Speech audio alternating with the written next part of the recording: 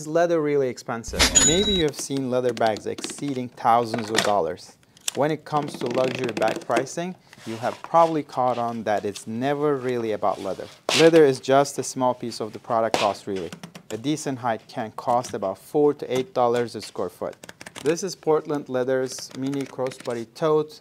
They use the pull-up cowhide on this project. Craftsmanship is absolutely basic level. There is only minimum assembly steps employed here. It seems like five to six square foot of leather will be enough to make this project. Leather cost should be about $20 and putting the bag together with accessories is another $20.